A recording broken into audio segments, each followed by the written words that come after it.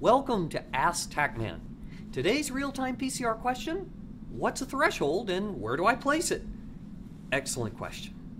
The threshold is a horizontal line in our amplification plot that can be moved up or down on the y-axis.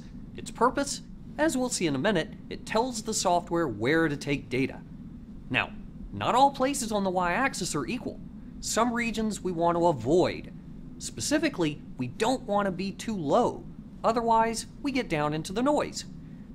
Conversely, if we go too high, we're in the linear or plateau phase of amplification, where data are less predictable.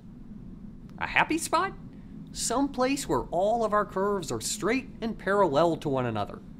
What we really want is to put the threshold wherever the precision of our replicates is highest. That's generally somewhere toward the middle of the geometric phase, or maybe slightly higher. In any case, with a really robust assay, hitting a good spot is quite easy. The default on all Applied Biosystems real-time PCR software is auto threshold, meaning the software sets thresholds for us the second we click Analyze. Notice that it sets a different threshold for each assay separately, which is good since not all assays have the same sweet spot. If I want though, I can switch any one or all of my thresholds to manual mode, then move the line up or down with my mouse.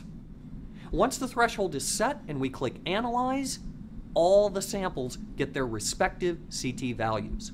The attentive viewer might be tempted to ask, well, if the threshold can be moved up or down, doesn't that change CTs? Why, yes, it does. But here's the thing as long as we keep the threshold firmly within the geometric phase, the relative or delta CT between any two samples stays constant. This fact allows us to do things like calculate fold changes in gene expression from sample to sample, and to get quantity information from a standard curve. And that's all there is to thresholds. If you have any real-time PCR questions, just ask TaqMan. Literally. Well, you can send your question via Twitter by using the hashtag AskTaqMan, post to our Facebook timeline, or just visit lifetechnologies.com forward slash AskTaqMan. And hey, don't forget to check out the rest of our Ask TaqMan videos available on YouTube.